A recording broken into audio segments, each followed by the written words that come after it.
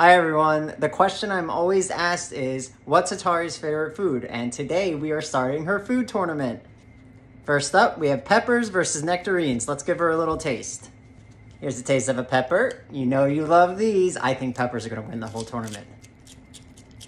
Okay, now we're tasting the nectarine.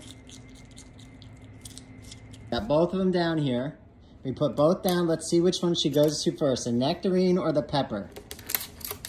Sniff, sniff. Ah, the pepper. I knew it was the pepper. We have a winner. It's Pepper. As predicted.